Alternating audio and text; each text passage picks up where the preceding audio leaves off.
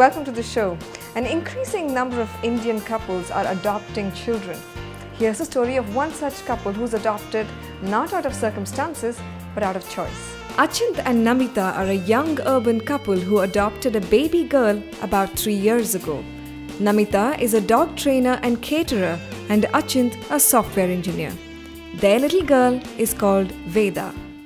Uh, even before we decided to get married, um, Namita was always talking about adoption and how she's worked in the past with uh, uh, certain uh, uh, organizations which take care of uh, kids. And she said she wanted to adopt, and I was perfectly fine with it. I was actually pretty happy with the idea. After we got married, uh, I think, um, uh, I guess after about five years, uh, we, we filed our papers for adoption.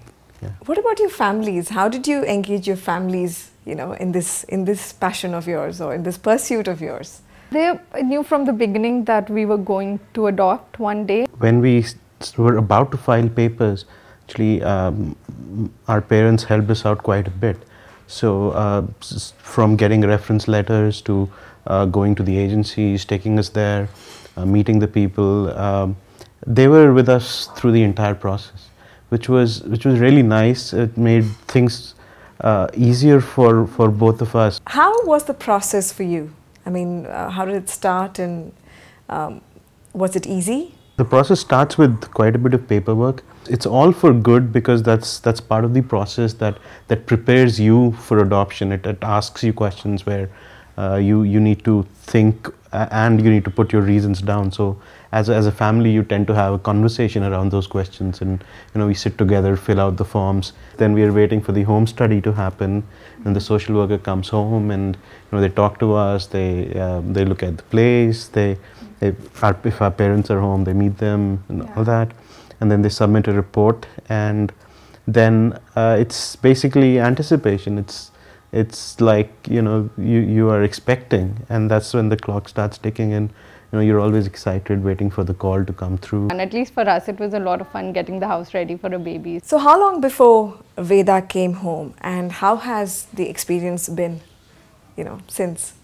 It wasn't very long uh, with the agency where we filed papers. I mean, they told us right away that they had a baby, but the baby would be legally free only in two months. So we were prepared and they told us when to come down. And Veda came home just a couple of days before Diwali, so it was really special for us. And then we had a, a pretty big party. Uh, we had everybody home, everybody we knew, all our relatives. We were very excited. And yeah, Diwali that year was like awesome. Veda was um, pretty uh, easy child to bring up. At least, you know, she slept through the night, so that was a big thing. So she wouldn't really wake us up, but uh, and she was very playful and, cheerful. She's now three and a half years. She's a pretty bubbly kid. Totally carefree, never had any hang-ups, always laughing, always playing. It was a learning process to to get the child home, and then we need to figure out what the next steps are, make the home child-proof and child-safe, and um, a lot of little things that that that to get taken care of in a big family. We have we had to learn all those things, and plus uh, we uh, once she came home. Think uh, right about that time we joined Sudatta, which is an adoption support group, and they have sessions which are related to general parenting as well, which were extremely helpful for us. And then we also learned the adoption specific part of parenting where, you know, uh, things that we could take care of, like the language that we used, the, you know, the positive, we call it positive adoption language that we use around her or around people. It's nice for her to have that group and it's nice for us that we have that group where we can speak about our fears and our uh, challenges that we face as adoptive parents. Probably when she was just about one, one and a half years old, we started telling her Krishna stories. And we had Krishna story books, and she learned the concept of having two mothers one being the birth mother, and one, one being the, the mother who brings her up. So I think a lot of these things come uh, with uh, interaction with Sudatta and, and our peer group. Given that you've seen couples at Sudatta and uh, families outside, do you think there's uh, much of a difference between you know raising an adopted child and raising um, a biological child? there there is there are certain differences.